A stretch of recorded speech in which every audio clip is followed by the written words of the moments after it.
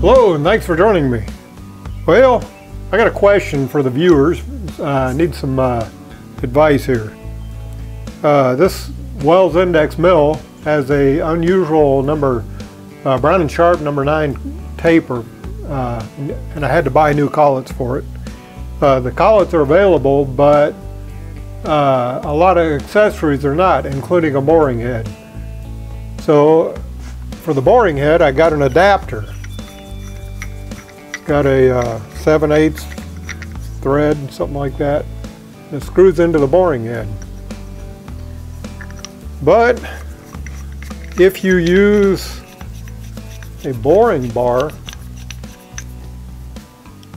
on the side, it has to go in reverse to be in the right direction to cut. So how do I use that in reverse without unscrewing? Without that unscrewing?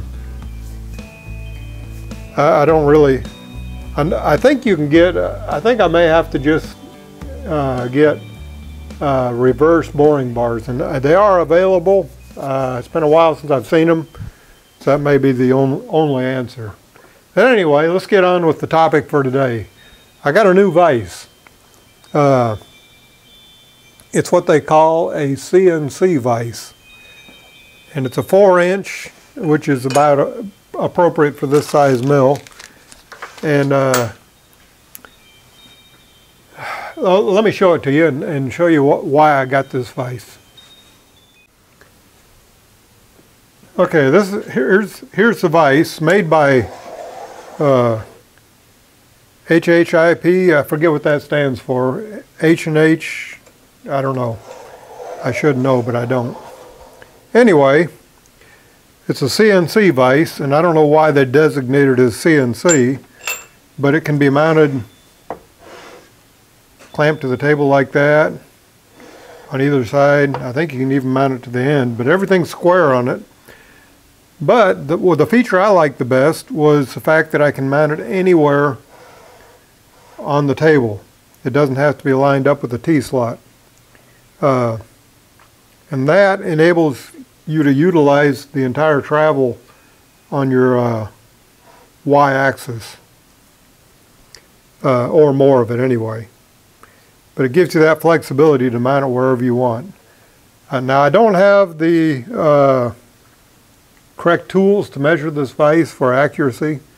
Uh, hopefully it's a good one. Uh, oddly enough, it was almost half price on Amazon as compared to several other websites. Uh, I'll put the link down below. Uh, I think I'm going to like it. Uh, but in order to mount this, I got to make some hold down clamps. And that's what I'm going to do today. Uh, so let's get started on that.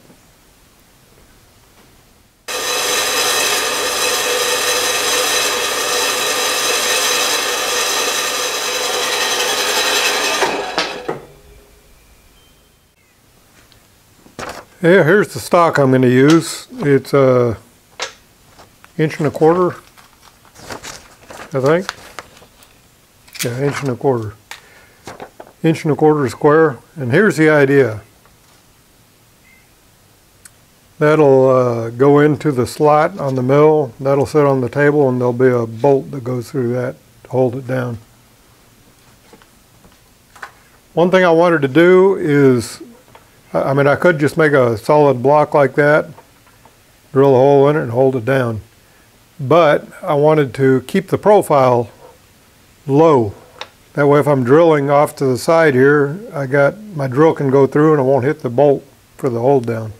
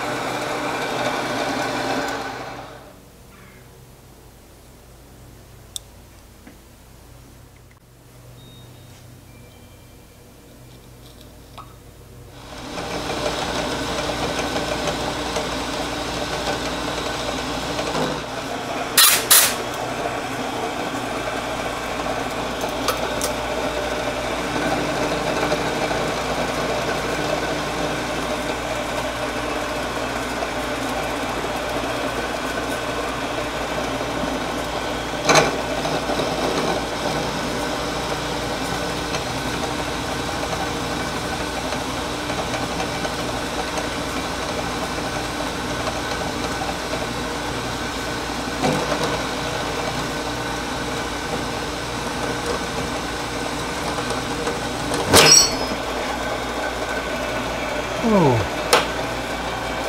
Broke the end mill.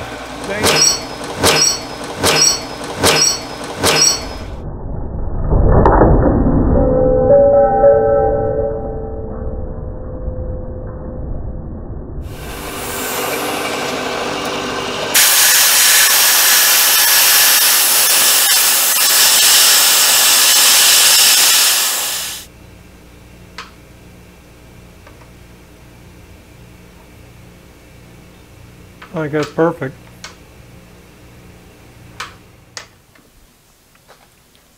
Okay, I think that'll work right there. It's centered both ways, inch and a quarter, an inch and a quarter.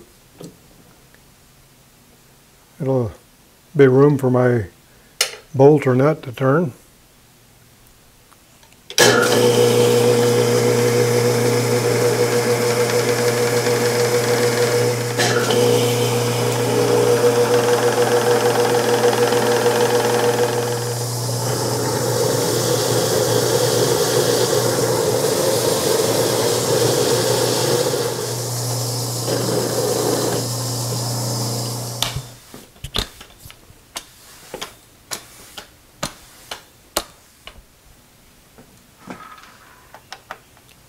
Okay. Now I can make this vise anywhere I want in relation to the T-slots. The only drawback to this type of vise is no uh, coolant grooves. Nothing to catch coolant if you're using flood coolant. And uh, that may be a drawback. Uh, something I discovered, and I, I, knew, really. I was using a carbide end mill here, and, and I broke it. And that was my uh, my fault. I didn't lock the uh, the knee down, and I think it allowed it to move a little bit. But uh, I switched to an high, a high-speed steel end mill, and uh, the high-speed steel cut way better, and it's a bigger end mill. So uh, I may go to flood coolant and high-speed steel. I don't know. That was fairly impressive. Uh, the difference between the carbide and the uh, high-speed steel and the way it cut. And I knew high-speed steel was sharper, but the advantages of carbide are, are significant, but that really cut nice anyway, I like it. Uh, that about wraps it up for today. Thanks for joining me, and uh, be sure to subscribe and ring that bell.